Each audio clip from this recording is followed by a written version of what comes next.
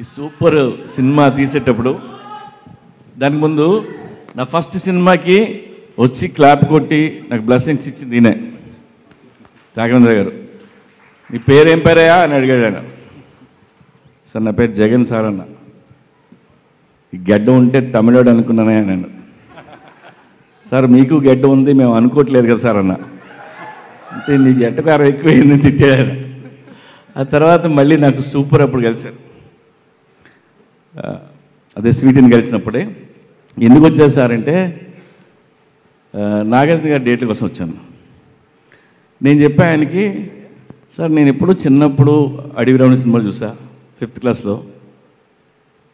నేను ఇప్పుడు ఏదో డైరెక్టర్ అయ్యి సినిమా చేస్తుంటే మళ్ళీ ఇంకా నాగార్జున గారి డేట్లు ఎందుకు సార్? మీరు రిటైర్ అయిపోయింది సార్. అని అన్నా. ఏంటి నేనేదో యూత్ ఆయన ఏదో వెటరన్ లాగా. ఆయన నవ్వి నా భుజం తట్టి డేట్లు బట్టి వెళ్ళిపోయారు ఆయన.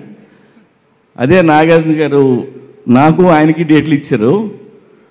నేను తుస్సుమని తీస్తే ఈయన అన్నమయ్య బ్లాక్ బస్టర్ తీశారు. సో నేను వాగిన వాగడికి మీ అందరి ముందు ఒకసారి సారీ చెప్తున్నాను లవ్ యూ సార్ మీరు ఎక్కువసేపు ఇక్కడ ఉండరని వచ్చి మాట్లాడుతున్నాను. ఎయిట్ థర్టీకి వెళ్ళిపోతారా? ఎయిట్ అర్థమైందా? అర్థమైందా? కాసేపు ఉండండి సార్ ఇవాళ. అలాగే. ఇవాళ ఉండండి. అలాగే ఓకే సార్ లవ్ యూ భలే గమ్మత్తుగా కప్పింగ్ చేయించారు sir sir sir sir sir sir sir sir sir ఒక్క నిమిషం అనుష్క గారు ఏదో చెప్పాలనుకుంటున్నారు మీతో yes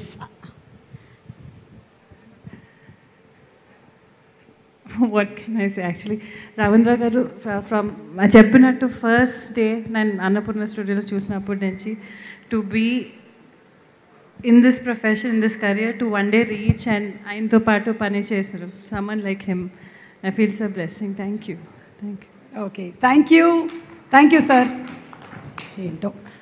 బాగా అందమైన అమ్మాయిలు చాలా తక్కువ మాట్లాడుతారు